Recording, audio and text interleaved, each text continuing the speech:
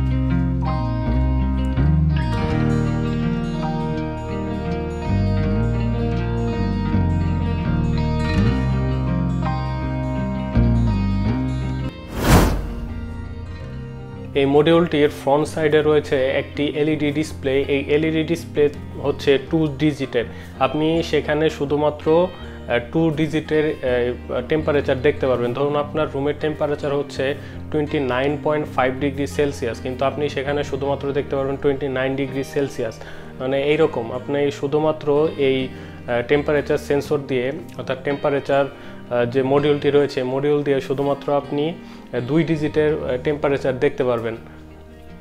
এবং এর সাথে উপরে সেলসিয়াসের একটি ইন্ডিকেটর দেখতে পারবেন। এই মডিউলটি শুধুমাত্র সেলসিয়াস হিসেবেই পরিমাপ করতে পারে। আপনি যদি এটা ফারেনহাইট হিসেবে পরিমাপ করতে চান, তাহলে সেলসিয়াসকে ফারেনহাইটে কনভার্ট করে এরপর আপনার এটা যুগ বিয়োগ করে বা সেই সূত্র দিয়ে আপনার বের করতে হবে যে এত ডিগ্রি সেলসিয়াসে কত ডিগ্রি ফারেনহাইট হতে পারে।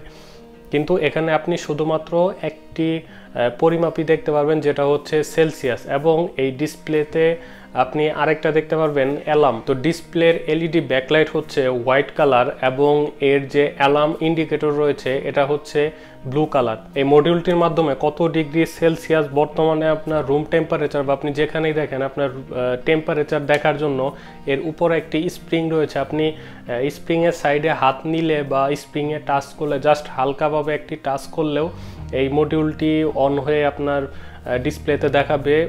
সেই রুমের বা সেই প্লেসের টেম্পারেচার কত রয়েছে টেম্পারেচারটা আপনাকে দেখাবে।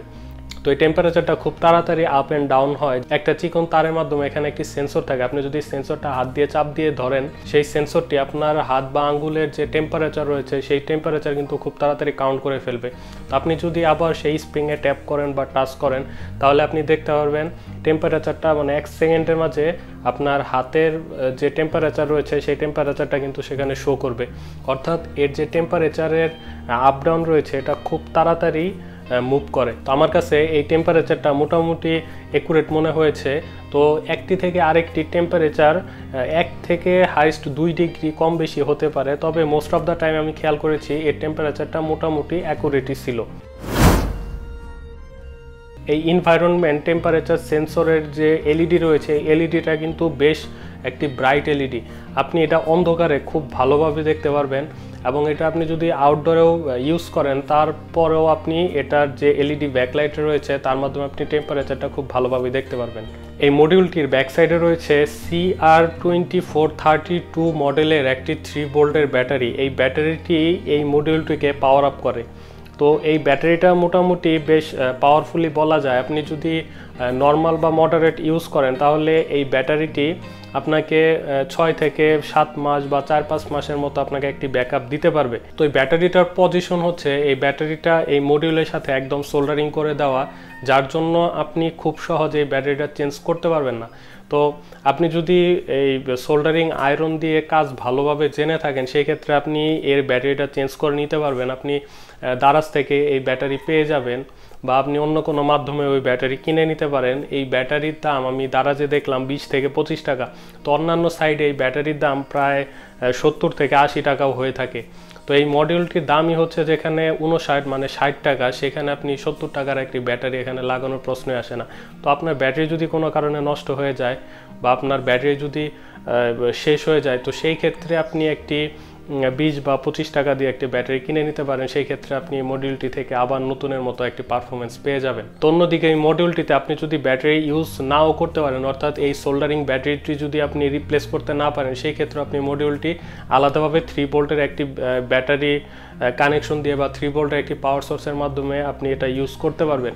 তো এই মডিউলটির উপরে ব্যাটারি কানেকশনের জন্য আলাদা দুইটি লাইন করে দেওয়া রয়েছে। আপনি চাইলে এখানে সোল্ডারিং আইডনের মাধ্যমে আপনি এখানে সোল্ডার করে এখানে ইনপুট দিতে পারবেন থ্রি ভোল্ট সেই ক্ষেত্রে এই মডিউলটি কাজ করবে। তো এই ব্যাটারির পক্ষে মডিউলটিকে লং টাইম ব্যাকআপ দেওয়া সম্ভব না। যার কারণে আপনি যখন ট্যাপ করবেন, এটা ডিসপ্লে দুই থেকে তিন সেকেন্ড জ্বলে একা একাই অফ হয়ে যাবে।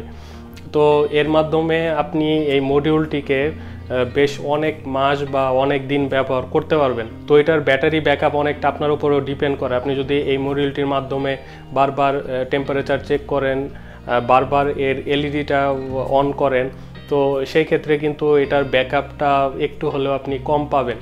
তো আপনি যদি এটা নর্মালভাবে ইউজ করেন, সেক্ষেত্রে এটা বেশ অনেক দিনই ইউজ করতে পারবেন। তো এই মডিউলটির উপর একটি স্প্রিং থাকে, যেটার উপরে আপনি ট্যাপ করলে বা এর সাইডে আঙ্গুল নিলে এটা জ্বলে ওঠে। তবে আমার কাছে যে জিনিসটা মনে হয়, এটা আরেকটু ভালো হতো যদি এটা একটু শেক করলে বা একটু নাড়াচাড়া বুঝতে পারলে যদি এই মডিউলটি অন হতো, সেক্ষেত্রে কিন্তু এটা অনেক ভালো হতো। তো ধরুন এই মডিউলটি আপনি দরজায় লাগালেন, দরজায় লাগানোর পর আপনি যখন দরজা বন্ধ করবেন, দরজা খুলবেন, সেক্ষেত্রে কিন্তু দরজাটা একটু হলেও নড়বে বা একটু শেকের মতো হবে। তো মডিউলটি যদি একটু নড়াচড়া বুঝতে পারতো সেই ক্ষেত্রে কিন্তু এই মডিউলটি তখন জ্বলে উঠতো। তো সেই ক্ষেত্রে এটা দেখতে অনেক সুন্দর লাগতো। কারণ আপনি দরজা নাড়াচাড়া করছেন, দরজা লাগাচ্ছেন, দরজা খুলছেন, সেই ক্ষেত্রে এই মডিউলটি জ্বলে উঠছে। এটা দেখতে অনেক সুন্দর লাগতো। কিন্তু এই মডিউলটিতে এরকম কোনো সিস্টেম করা নেই।